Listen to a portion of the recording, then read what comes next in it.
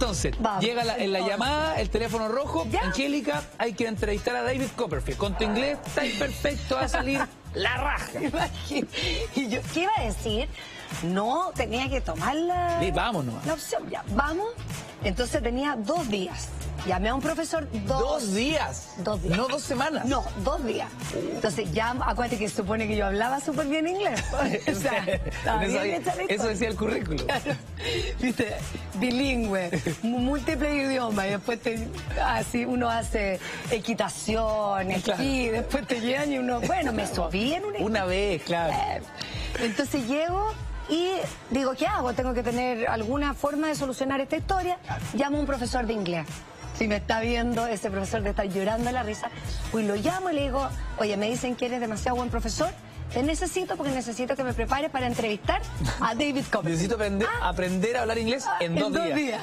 Entonces llega y me dice, juntémonos y eso. Nos juntamos, yo te diría unas fácil cuatro horas, cinco horas al día, dos días seguidos. Y lo que hicimos fue una batería de preguntas con posibles respuestas. Imagínate la locura. Entonces yo, por ejemplo, te preguntaba a ti, ¿cómo fue tu infancia? Claro. Cuéntame, Nacho, tu infancia. O sea, Bueno, mi infancia, yo, muy el- Yo viví en el norte, lo pasé súper bien, súper familiar. ¿Qué otra opción? Dame otra opción. Eh, eh, mira, mi infancia fue muy triste, la verdad. Un niño abandonado. Perfecto. ¿Y otra opción? Eh, mira, la verdad, tengo pocos recuerdos de mi Perfecto. infancia. Brillante. Así es. Siempre hay tres Ah, opciones. Entonces, ese era el método. Sí, pues, Preguntas y tres opciones de Es respuesta. que realmente siempre si Infancia analiza- feliz, infancia infeliz o no me acuerdo. O, o te toca el pesado, no ¿Cómo? quiero hablar de No eso. quiero hablar de mi infancia. También es una opción. Ya. No, no, no, no, como pasemos a la siguiente. Entonces teníamos las alternativas y yo tenía como palabras claves Ya. donde yo sabía más o menos la respuesta. Entonces... Llegó el, llegó el día de la entrevista y las preguntas me las sabía, pero además yo soy matea, yo estudié en la universidad, egresé, saqué mi diploma, Sí, soy la- estudiosa. la- el encabezado venía pero de memoria. No, no, no, no. Y mi pronunciación, pretty good. O Entonces, sea, ah, para. Entonces, lo que empezó a suceder es que Copperfield no estaba cachando que tú no sabías ¿qué? Nunca lo supo. Hasta que ya me conoció y nos hicimos amigos y le tuve que con- confesar porque yo no hablaba inglés. Ay, pero espérate, y cuando él no te le iba confesé yo, fue una amiga que me traducía. Pero espérate, ¿cómo lo hacía? Ya, le hacía ahí la pregunta. Él respondía. esté viendo Estados Unidos. Y cuando él respondía, tú qué hacías? No, porque además cuando yo soy profesora de niños sordos. Ya. Entonces, cuando uno trabaja con niños sordos, uno lee mucho el lenguaje corporal. Corporal. Eh, Entonces yo te veo a ti si estás nervioso, si no estás nervioso, si no quieres comunicarte tanto, si estás triste, si estás ocultando información.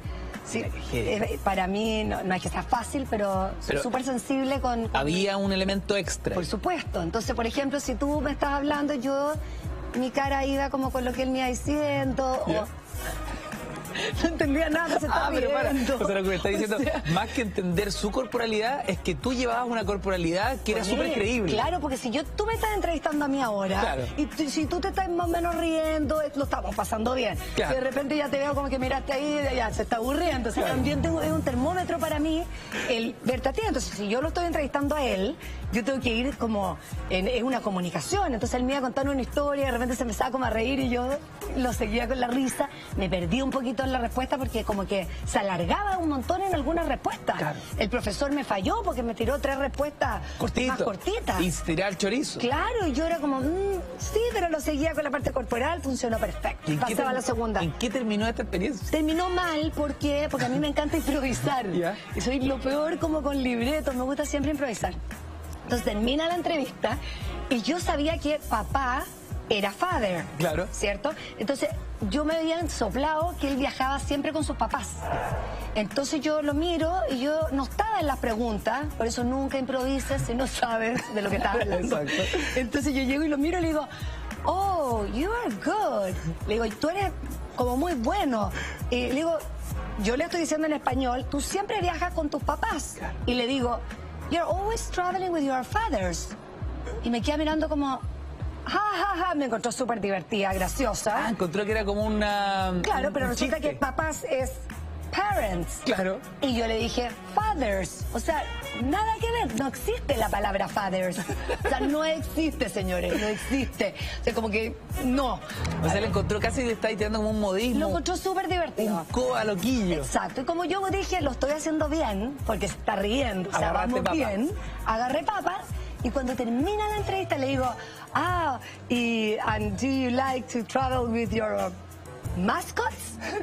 Yo quería ser mascota, dije, bueno, mascota, mascots. Y no, pues decía pets. Claro. Ahí lo aprendí después. Y ahí ya me encontró el ser humano más gracioso del planeta. Y en esa época esto era para una El- entrevista para el matinal de ¿Ya? donde estaba la Paulina Ninde Cardona, esa época. Y había como el perrito, ¿te acordáis? De- Cosita. Es el cosita. Y entonces él tenía acá el perro y yo justo le hago como que tienes ahí la cámara de foto y yo le digo, ah, um, do you like to travel with your mascots? Y él encontró genial esto, agarra el perro y me hace, oh, yeah, yeah, yeah, yeah. Y termina así la nota. Se rieron de mí Excelente.